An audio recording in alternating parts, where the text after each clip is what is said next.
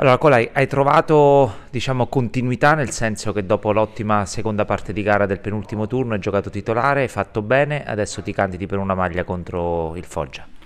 Sì, sono contento comunque di aver trovato più continuità e adesso c'è da lavorare bene in settimana per eh, comunque cercare di farsi trovare sempre pronti. Che partita ti aspetti con il Foggia?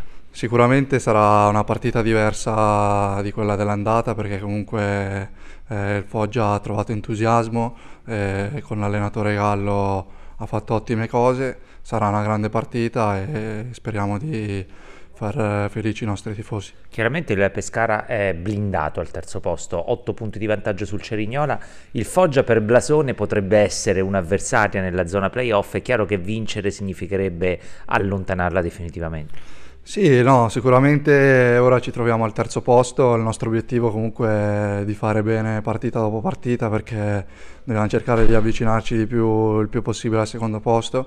Ma ci credete al secondo posto o è impossibile? Noi, noi, ci crediamo perché come abbiamo detto il periodo di no può capitare a tutti. Ora siamo venuti, giochiamo domenica dopo una, una vittoria e speriamo di aver ricreato l'entusiasmo che magari poteva mancare un pochino. Ti chiedo una cosa di mercato perché è chiaro che quando mancano pochi giorni, meno di una settimana alla chiusura, è sulla bocca di tutti. Colai eh, sta bene a Pescara, non ci sta pensando al mercato?